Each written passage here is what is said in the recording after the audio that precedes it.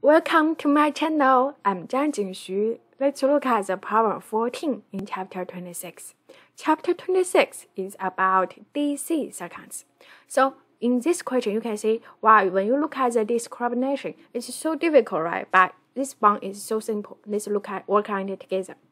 So first one, we look at the system. You can see we have a battery. The EMF is given, internal resistance is given. It connected with the external resistance RS, right? All the number is given. And then in the second time, we insert another resistance RC as 0.1 ohms inside. And then all the battery's internal resistance RS are kept constant.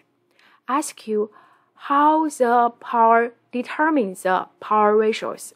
That means you need to use the final power divided by initial power. Agree? Yes.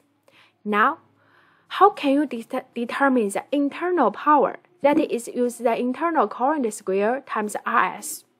Right? Yes. So this is the power it has. Mm -hmm.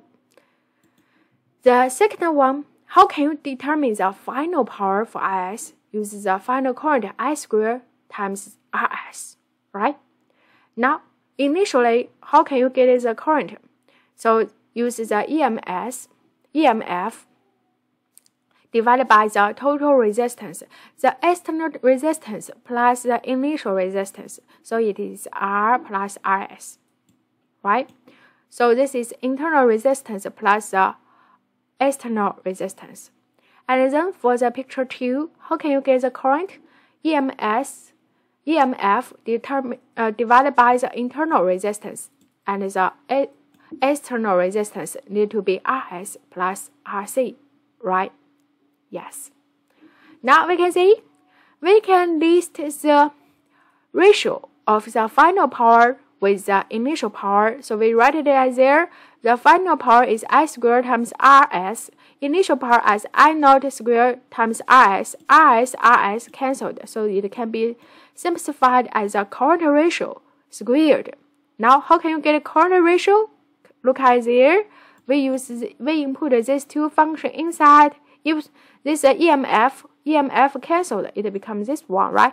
Input the current ratio inside you get the function. Look at this one, and then you can input all the given quantities, get the answer at 0, 0 0.4. Thank you.